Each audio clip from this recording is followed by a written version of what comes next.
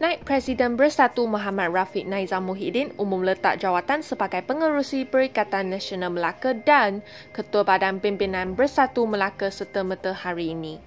Peletakan kedua-dua jawatannya adalah untuk memberi peluang kepada kepimpinan baharu untuk mengetuai parti tersebut. Menurutnya, surat rasmi peletakan jawatan akan diserahkan kepada Muhyiddin Yassin esok. Dalam kenyataannya, Rafiq berkata dia mahu fokus membekukukan kedudukan dan sokongan rakyat terhadap PM Parlimen Tangga Batu dan Bersatu Bahagian Tangga Batu. Selain itu, dia juga ingin memberi tumpuan sepenuhnya terhadap tanggungjawabnya sebagai naib Presiden Bersatu menjelang PRU 15. Pada PIM Melaka yang lalu, Muhammad Rafi yang bertepan saingan empat penjuru di kerusi DUN Teluk Mas tewas kepada calon Barisan Nasional Abdul Razak Abdul Rahman dengan majoriti 2076 undi.